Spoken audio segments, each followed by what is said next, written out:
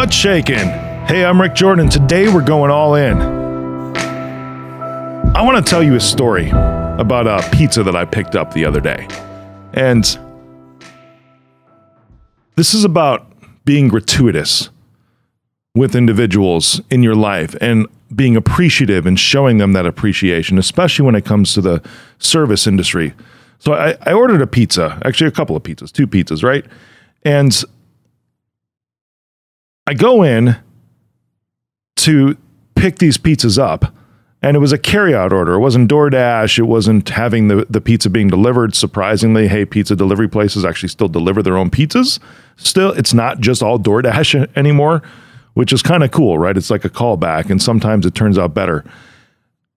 I go in, and you know the, order was like sixty bucks, whatever, for for the two pizzas, and the receipt prints out and you see on there that there's a there's a tip field, right? And, and the tip field is there usually when it comes to like full service restaurants, and obviously that's meant for the server to tip the server. That's always how it is. But in the restaurant industry as a whole, it's just how the the machine, like the terminal, is actually set up with the. It's called a merchant provider, and I don't know if you knew this or not, but you can configure the machines to print out a, a tip, even if there is no tip on there even if you don't typically accept the tips at all, but the machine itself is configured to have that function enabled when you are coded as a restaurant. That's typically how it happens. So this thing prints out, and I'm sure there's not a lot of people that do this, but I'm taking a look down on this thing and I see that there's a tip field. You know, for sixty for sixty dollars, I, I write ten bucks in there, right?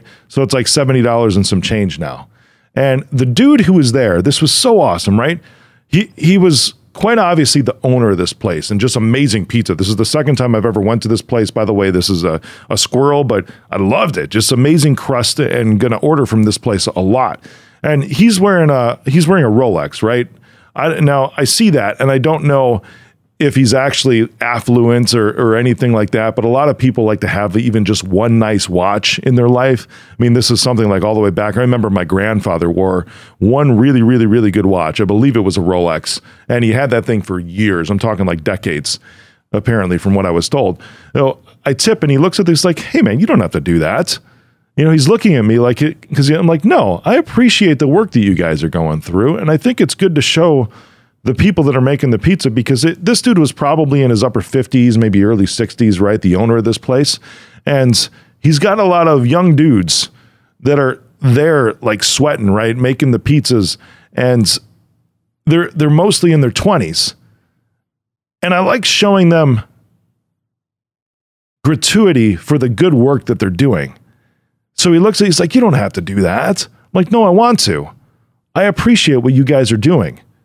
And I know it's been a little difficult the last couple years. I mean, pizza places probably did great right during the pandemic, but still, costs are rising, right? Especially food costs these days. I'm like, I appreciate you guys putting a lot of care into my pizzas because I'm sure you know, you know, you're probably thinking, Rick, you're crazy at this point, right? Because this is a pizza story, but I'm sure you've had bad pizza to where they didn't make much effort into making it how it should be made.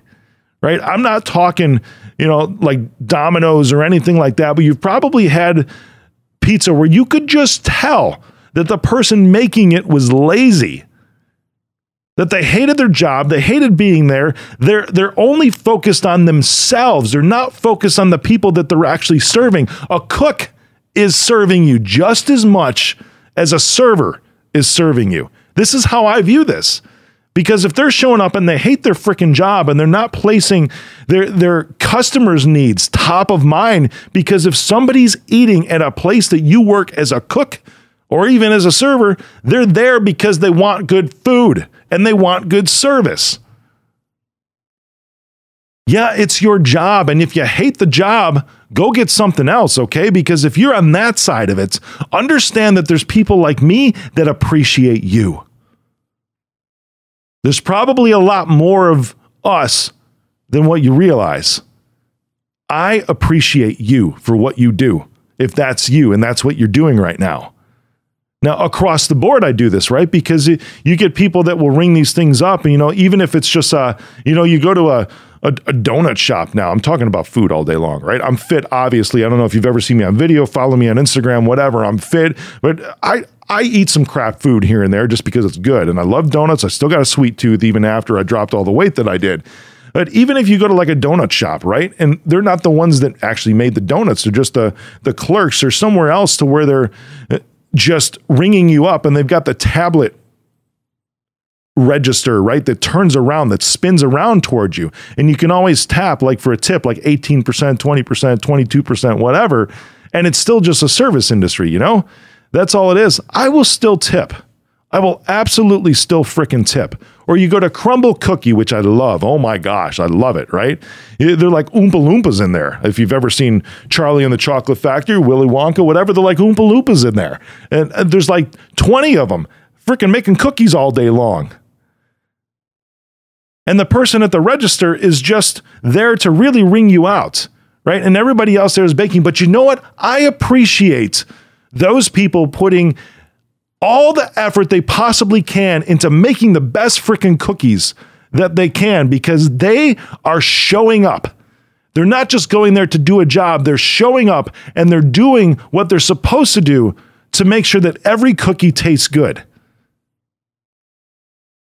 So I tell this dude the same thing, right? And I do this at, at a sushi restaurant down the street from me too. Every time I pick up sushi, I always tip, even if it's just a carryout order. I would like to challenge you to do the same thing today if you're on that side of it. If you're on the side to where you're somebody right now and you're just working a job, right? And you're just showing up, put yourself in the shoes of the people that you're serving. Because even if you're a cook, you're serving. Even if you're just a person that's a customer service person at T Mobile or something, you're serving. You're there to provide exemplary, top notch service to whatever person it is in whatever industry you're in. And people will appreciate that, even if it's not a monetary tip, even if it's just as much as a thank you. You know what? Even on the phone with people, like I was on the phone with Chase Bank the other day, right? Getting auto pay set up for a new car that I got for my kids. It hadn't showed up in my online account yet. So I'm calling up and I just talk with this individual. I'm like, hey, you know what? I appreciate your help today. I tell people that all the time on the phone because I do. They're literally there to help me out. So Chase Bank, I, go through what I need and everything. like, okay, sure, let me bring up your account and everything. It's right in the beginning of the call, too. I will tell them, hey, you know what? I really appreciate your help today. How's your day going? It will throw them for a loop because there's not many people that do this. It's freaking awesome because just in those moments, because they're there to help me, but what if I just lifted lifted that person up and now they're going to have a great day because of that? Because I'm genuine, I'm sincere, and I say, "Hey, I appreciate you. How's your day going today?" Like, wow, well, well thank you. My day's going pretty good at this point. Of course it is, because they were just appreciated.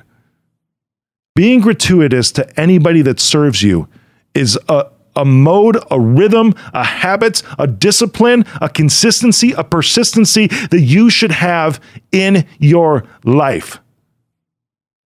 When you are grateful and show that gratitude, when you are gratuitous to other people around you, even in just the little things, just for handing you a product and you got a tablet and you can tap a button to tip them your life is going to shift around because now all of a sudden you're going to start attracting a whole bunch of other good things. Your outlook on things will change. It's incredible. It's absolutely incredible. Now, I started thinking about this today because I don't understand really why people don't do this, right? If, if they're ignorant, that's fine. If they haven't thought through this, that's okay. But there was an individual I was talking to who is venting about someone that said, about one of those tablets, right? And it was something it's like, what, I'm supposed to tip you for spinning the tablet around? Because they were literally just there to just check out the order, right? I could kind of compare that to like a Crumbl cookie, my example, to where that person's there and they're just punching in your cookie order, spinning it around, And then you're supposed to check out with your credit card and sign it and tap a tip button, no tip, or one of the other three options, the 18, 20, or 22%. And this person's comment was, What? I'm supposed to tip you for just spinning around the tablet so that I can pay? Come on now. First, that dude's an asshole. Okay?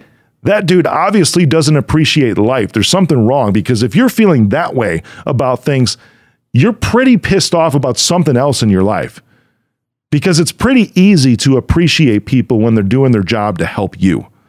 It's pretty freaking easy to do that when you actually recognize and become aware of those things.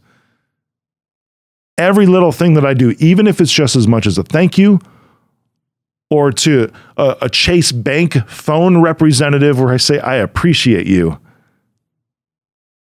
That's the way to live life. That's the way to show your gratuity and your gratitude towards other individuals.